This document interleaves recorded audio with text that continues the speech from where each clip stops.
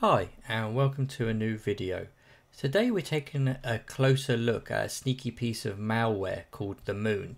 Uh, so this nasty code targets something you use every day. Of course your home router um, or your router um, and any IoT devices, so that's Internet of Things devices that are connected and open to the internet uh, for you to access and then potentially other people to access as well. We'll basically break down how it operates, why it's dangerous, and the most importantly, how to protect yourself. So as you can see here, there's this article came out uh, from bleepingcomputer.com uh, in March 26. So a few of you might have seen this and start to panic that you're going to get infected. Um, your router and everything else because you've got an Asus router and it says it's already affecting 6,000 in 72 hours. Um, so just to put things in perspective here, this is probably going to be devices that are potentially end of life, so have not getting any updates anymore. And if your device is end of life, there is other firmwares out there that you could still install like Merlin or OpenWRT. There's a few uh, out there that if you just do some research, uh, it doesn't mean you have to throw out your router uh, by any means because they'll probably still be perfect for your what you need. But it's just uh, there's some options out there, and also just because your device is end of life, it doesn't mean it's going to be affected by this uh, totally. Um, and also there is some good things that you can probably do to minimize and potentially stop any of this actually happening.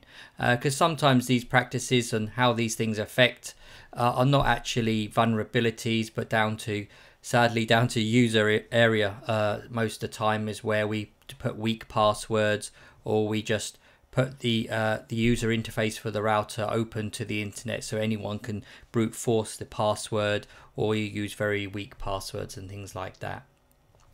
Um, so we'll just quickly go through what is the moon. So imagine the moon as a, a gremlin uh, with a knack of breaking into old and outdated routers.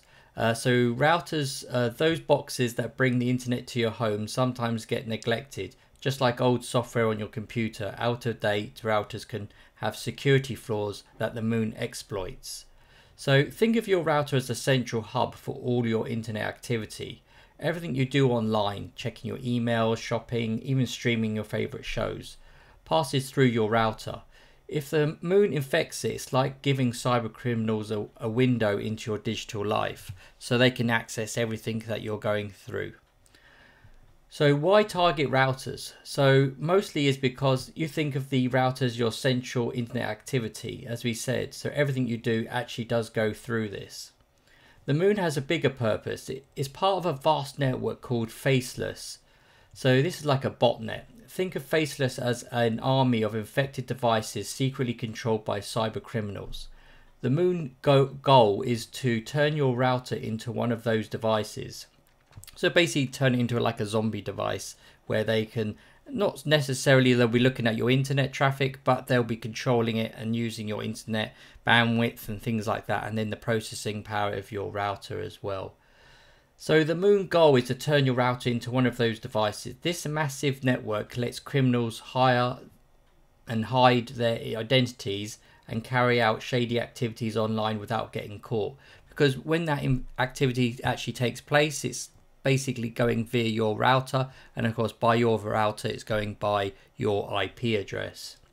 How the uh, moon uh, malware affects you. So it does few things. So first one is the sneaky redirect. So the moon can trick you. It can send you to fake websites that look like your bank or social media. The second you log in, um, it can basically uh, identify where you want to go and then actually spoof that website. It can potentially use DNS spoofing. They can steal your passwords and personal information. So, Internet Peeping Tom. So, just like a nosy neighbor, the moon can spy on your online activity, the websites you visit, the things you search for, even your private messages you send. But again, most of the time we've got to put in realistic is that a lot of internet traffic now is encrypted. So, unless it's plain text and uh, you're sending it just by normal HTTP, um, then of course they'll be able to see it. But most now will be HTTPS, as you'll see, just like banking and all nearly uh, websites you go to. So all that internet traffic is encrypted. So it is harder for them to identify what you're looking and being and actually people actually see your activity. One of the major things that you'll notice is that the internet's slowing down. So if you've ever experienced uh, basically frustratingly slow internet, even with a good connection, the moon might be using your router as part of a massive attack to bombard websites with traffic, causing everything to slow to a crawl. So as we know, that's part of like a denial of service attack. And then also it's spreading the infection. So once the moon infects your router, it can try to jump over to other connected devices.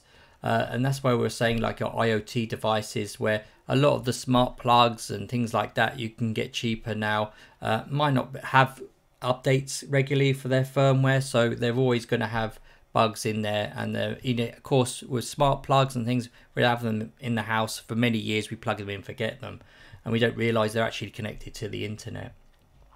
So again we have a look at so how can you protect yourself?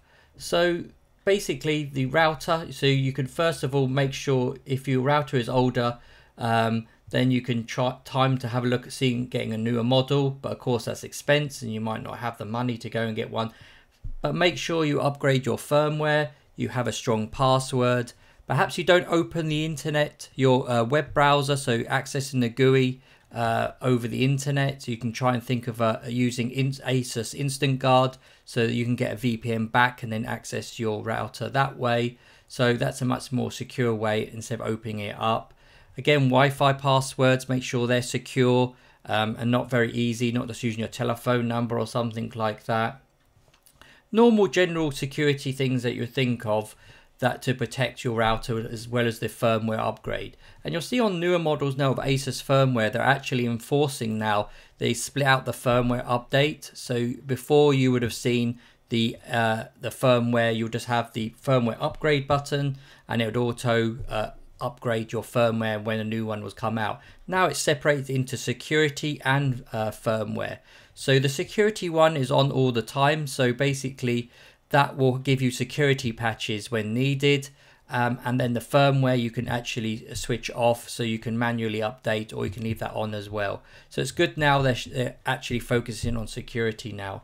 Um, again, it's basically always making sure your router is and the connected devices are always up to date uh, and so they fix the latest kind of vulnerabilities or exploits that things like the moon can um, try and get through so conclusion the moon is a, a basically a reminder that the cybercriminal threat is uh, always unexpected places it comes out of again this headline does state here as we can see here about the new variant and of course the headline is quite uh, impacting with like 6,000 Asus routers.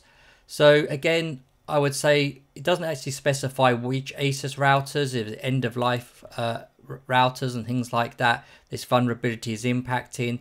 I would again say this this might be a uh, a vulnerability, but it might not be.